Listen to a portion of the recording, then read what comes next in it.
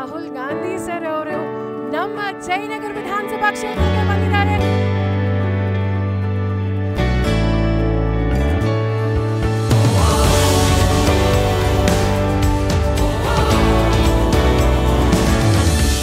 Sir, ನಮಸ್ಕಾರ. One forty seven ವಾರ್ಡಿಂದ ಬಂದಿದ್ದೀವಿ. ನಮಗೆ ಪೌರ ಕಾರ್ಮಿಕರು ಅಂತ ಇತ್ತು.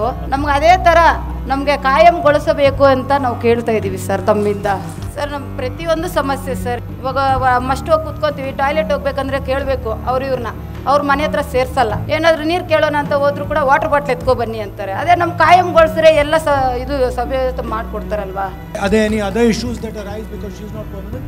Sir ನಮಗೆ ಟೋಟಲ್ ಇರೋದು ಬಂದು ಇವಾಗ ಇಪ್ಪತ್ತೊಂದು ಸಾವಿರ ಇದೆ ಅದರಲ್ಲಿ E S C P F ಎಲ್ಲ ಕಟ್ಟಾಗಿ ಹದಿನಾರು ಸಾವಿರ ಕೈಗೆ ಬರುತ್ತೆ ಸರ್ ರಜಾ ಹಾಕಿದ್ರೆ ಅದು cutting How many hours does she work? ಬೆಳಗ್ಗೆ ಆರು ಗಂಟೆಗೆ ಹೋಗ್ತೀವಿ ಮಧ್ಯಾಹ್ನ ಎರಡೂವರೆ ಆಗುತ್ತೆ ಸರ್ ಮನೆಗೆ ಹೋಗೋಷ್ಟರಲ್ಲಿ ಮೂರು ಮೂರುವರೆ ಆಗುತ್ತೆ sir And if she gets injured, does she get insurance? ಇಲ್ಲ sir You do the most difficult job in the city, but it's also a risky job, a hazardous job, a dangerous job. Without you, within a matter of days, Bangalore would be shut down. So I think the first step that Congress government of Karnataka should take is to regularize all of you.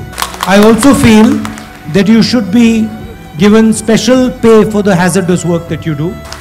And the government should come out with a health and safety insurance dedicated for Safai Karamcharis.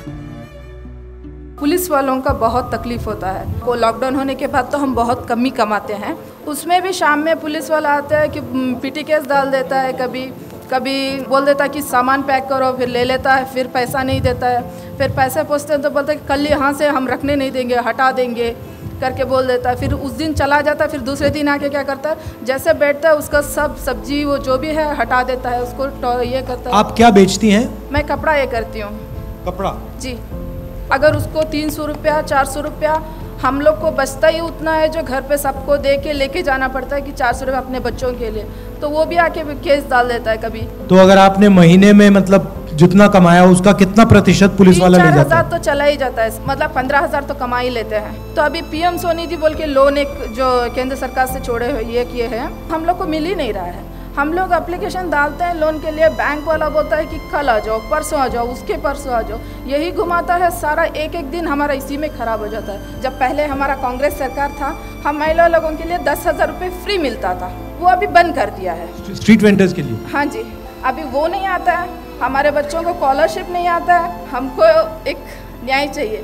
For you to expand your business, it is critical that you get access to bank loans. So we will particularly focus on trying to help you get bank loans simply and easily from the banks. ಐದು ಲಕ್ಷ ಇರೋದು ಅದರಲ್ಲಿ ಮೂರು ಲಕ್ಷದ ಇಪ್ಪತ್ತೈದು ಸಾವಿರದ card ready ಆಗಿದೆ. ಅದರಲ್ಲಿ ಒಂದು ಲಕ್ಷ ಕೊಟ್ಟಿದ್ದಾರೆ. ಟೋಟಲ್ ಬೀದಿ ಬದಿ ವ್ಯಾಪಾರಿ ಕುಟುಂಬ ಇಪ್ಪತ್ತೈದು ಲಕ್ಷ ಇರೋದು. ಕಾಂಗ್ರೆಸ್ ಸರ್ಕಾರ ಇದ್ದಾಗ ನಾನ್ನೂರ ಐವತ್ತು ರೂಪಾಯಿ ಇತ್ತು ಎಲ್ ಪಿ ಜಿ ಗ್ಯಾಸ್ ನಮ್ಮ ಮನೆ ಗ್ಯಾಸ್ಗಳು ಇವತ್ತು ಸಾವಿರದ ಇನ್ನೂರ ಐವತ್ತು ರೂಪಾಯಿ ಆಗಿದೆ. ಇದು ಹೊರೆ ಆಯ್ತಲ್ವಾ ಜನಕ್ಕೆ? Why does you think prices are going up so much? ಎಲ್ಲ ಇವಾಗ ಜಿ ಎಸ್ ಟಿ ಅದು ಇದು ಅಂತ ಅಂದ್ಬಿಟ್ಟು ದುಬಾರಿ ಮಾಡಿ ಆಗಿದೆ. ಫಸ್ಟು ಜಿ ಎಸ್ ಟಿ ಇರಲಿಲ್ಲ. ಈ ಜಿ ಎಸ್ ಟಿ ಮಾಡಿದ್ಮೇಲೆ ನಮಗೆಲ್ಲ ಹೊರೆ ಜಾಸ್ತಿ ಆಗಿದೆ.